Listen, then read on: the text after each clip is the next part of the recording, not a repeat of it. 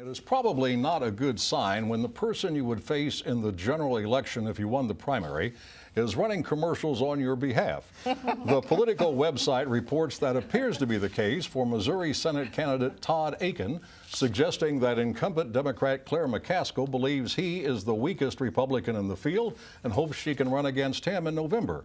McCaskill's commercials praise Congressman Akin as Missouri's true conservative and the most conservative congressman in Missouri, perhaps what McCaskill would consider damning with faint praise.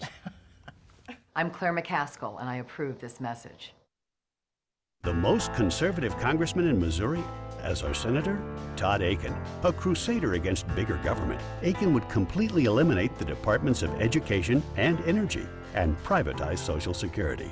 Todd's pro-family agenda would outlaw many forms of contraception, and Akin alone says President Obama is a complete menace to our civilization. Todd Akin, Missouri's true conservative, is just too conservative. Are McCaskill's commercials really aimed at Republicans or are they directed at a broader audience, Woody? Well, both. She's trying to nominate him in the primary and then defeat him in the general. Harry Reid did the same thing successfully in Nevada. Uh, managed to help uh, the Tea Party nominate a candidate he could defeat and then defeated her. Uh, so Claire's trying to do the same thing here. Right now, if the election were held, she'd lose to any of the three, including Akin, if the election were tomorrow. But she's clearly done the polling that shows that uh, the attack, you know, if I attack uh, uh, Brunner in this way, how many points do I knock off if I attack Steelman? And the person most vulnerable is Akin, so she wants to run against him.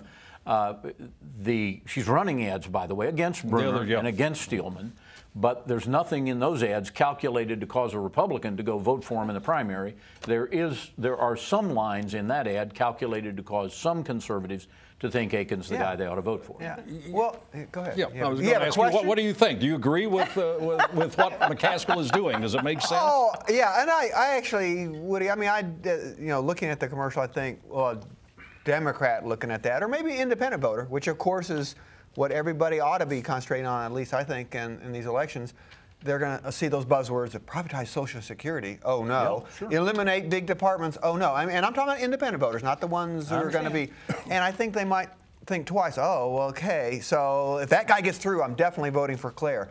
Now, to your point of, well, does she want to face Akin, who's a politician and he has mm-hmm. some gravitas to a degree, or Steelman, you know, doesn't have much of anything, or Brunner, who's a businessman but unschooled in politics. I mean, of those three, I'd actually pick the the person who looks more like an airhead than Akin, who's there as a as a you know Congress sitting congressman. But I think you're right. She probably has polling showing her differently. Mary? Well, I, I think I, I praise Claire on this decision introducing and all decisions. Oh no, I don't. oh no, you haven't you haven't asked me that question. Brilliant. It's always it, it's always calculated to upset me, Mike, when you tell people what I think without asking me.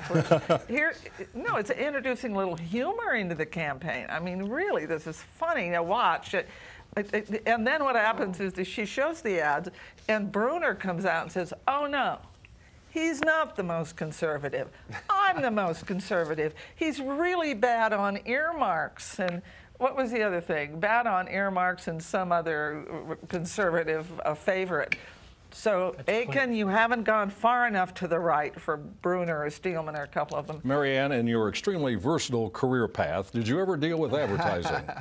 From a PR standpoint, I think she is brilliant in what it is that she's doing. She's got some good advice around her, and divide and conquer is exactly what she's trying to do. I give her a lot of kudos. And very quickly, uh, Woody, Steve Kraske had a column in the paper last weekend uh, talking about how GOP primary activities don't seem to be prevalent in Kansas City, Missouri, and, uh, and on the Missouri side of state line. And it quotes consultant Jeff Roe as saying, Kansas City is a dead zone in Missouri GOP primaries.